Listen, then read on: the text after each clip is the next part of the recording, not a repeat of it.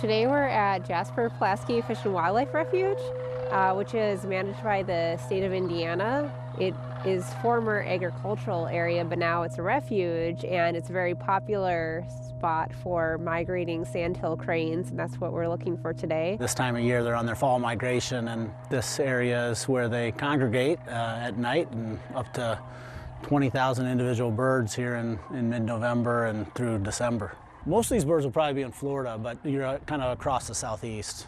But now we're seeing more and more climate change is likely contributing to this. These birds are over, some of them are overwintering in the Midwest, so you'll even have some birds stay here uh, for the winter if they can make do. Sandhill cranes are kind of an ancient bird. They've been here for millions of years, actually, breeding in the United States, and they're actually the most numerous of all the cranes in the world.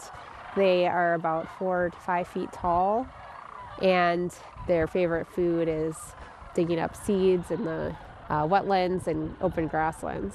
They form unique family bonds. They mate for life, pair for life, uh, kind of long lived and slow to reproduce, usually just raising one chick a year. Can remind you of a social family unit like, a, like people, right? And they're all out in the day on their own in those groups, and then they're coming back to, to the massive population, kind of like a city, right? Sandhill cranes are increasing in population across most of their populations. They're doing very well.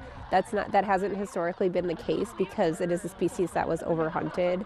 And um, I believe in Wisconsin they had only a few dozen pairs left at one point.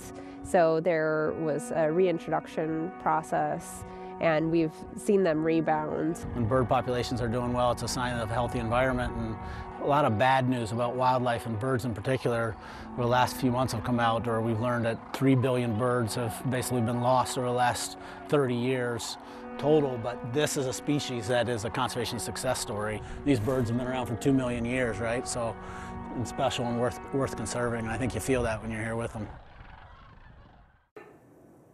Hey, if you like that video, be sure to subscribe to our ABC7 Chicago YouTube channel.